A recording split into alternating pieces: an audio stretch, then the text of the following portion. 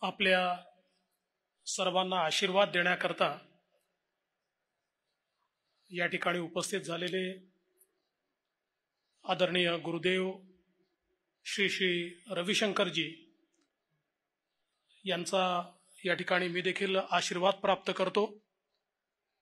आज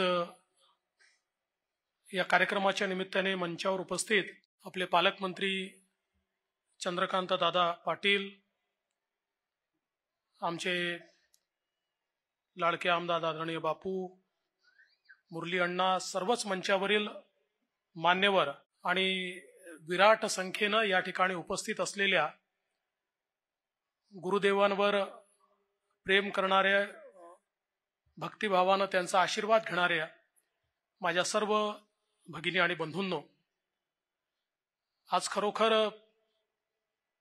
एका ऐतिहासिक क्षणाचं साक्षी होण्याचा मान मला मिळाला.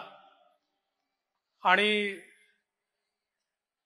अथर्व शीर्ष गायनाचा एक रेकॉर्ड आज या ठिकाणी तयार झालेला आहे.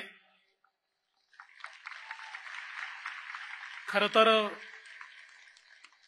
गुरुदेवांच्या सानिध्यात अनेक रेकॉर्ड झाले आहेत. कारण ते जिथे जातात तिथे भक्तीचा सागर तयार होतो. आणि पुणे हे तर बुद्धीचं आणि विद्येचं माहेरघर आहे. त्यामुळे इथे अथर्व शीर्षाचं पठण होणं अतिशय स्वाभाविक आहे. आणि जास्तीत जास्त लोकांनी अथर्व शीर्ष म्हणण्याचा रेकॉर्ड हा पुण्यातच होऊ शकतो. खरं म्हणजे आपल्याला सर्वांना कल्पना आहे की अथर्व शीर्ष हे असं आपण मानतो की आपल्याला स्थिर बुद्धी देतं. आणि श्री गणेश ही बुद्धीची देवता आहे. आपण म्हणतो गणाधीश जो ईश सर्व गुणांचा मुळारंभ आरंभ तो निर्गुणांचा. अशा प्रकारचा हा जो गणेश आहे त्याचं अथर्व शीर्ष जे अतिशय वैज्ञानिक आहे त्या अथर्व शीर्षाचं आपण सगळ्यांनी पठण केलं. श्री गणेशाची अर्चना केली आराधना केली आणि आशीर्वाद देखील मागितला. आणि सर्वम खलविदम ब्रह्म तूच आहेस.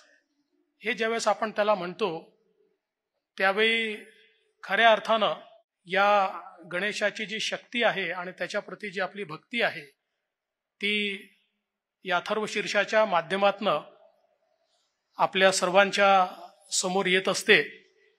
आणि आज खरं तर गुरुदेवांचं ऐकण्याकरता आपण सगळे या ठिकाणी आलो आहोत.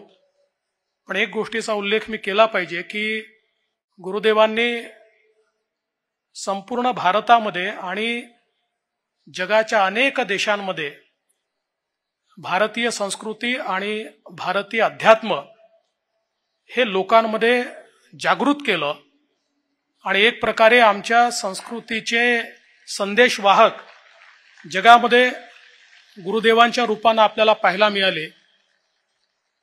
जागतिक शांती परिषदेच्या माध्यमातनं जगातल्या सर्व धर्मांना एकत्रित करण्याचं काम हे गुरुदेवांनी केलं आणि हे करत असताना आपल्या विचाराचं श्रेष्ठत्व ज्या प्रकारे स्वामी विवेकानंदांनी संपूर्ण जगाला पटवून दिलं होतं त्यानंतर तेच श्रेष्ठत्व संपूर्ण जगाला पटवण्याचं काम हे गुरुदेवांनी या ठिकाणी केलं. हे देखील मला असं वाटतं अत्यंत महत्वाचं आहे.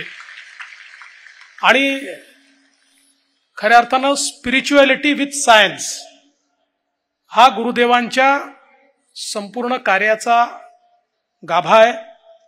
आणि मला असं वाटतं की हे जे अध्यात्म आहे जी स्पिरिच्युअलिटी आहे यामुळेच जगाच्या पाठीवर अस्तित्वात असलेली एक continuous civilization the oldest continuous civilization म्हणून आपल्याकडे पाहिलं जातं.